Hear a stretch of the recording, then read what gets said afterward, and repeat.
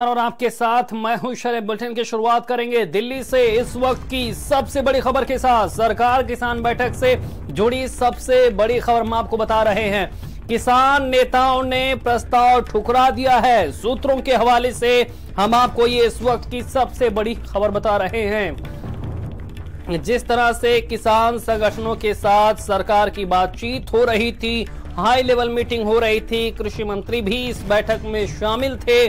अब जो सूत्रों के हवाले से हमें खबर मिल रही, उसके मुताबिक किसान नेताओं ने कमेटी बनाकर समस्या के समाधान के प्रस्ताव को सिरे से खारिज कर दिया है।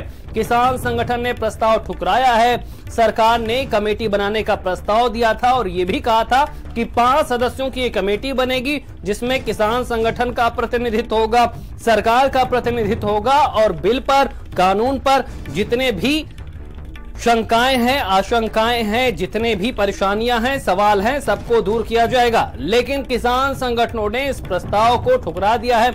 यानी कि सरकार और किसानों में बात नहीं बनी है। सूत्रों के हवाले से बैठक के अंदर की खबर हम आपको बता रहे हैं। लगातार बैठक चल रही थी। किसान संगठनों और सरकार के प्रतिनिधियों के बीच ये बातचीत हो रही थी। 35 प्रतिनिधि इसमें शामिल किए गए थे। किसान संगठन और सरकार की तरफ़ से मिला के और अब जो सूत्रों के हवाले से खबर सामने आ रही, वो ये है कि जो कमेटी का प्रस्ताव बैठक में रखा गया था, उसे किसान संगठनों ने सिरे से खारिज कर दिया है। किसान संगठन समिति के पक्ष में बिल्कुल भी नहीं है। सूत्रों के हवाले से हम आपको एक खबर बता रहे हैं।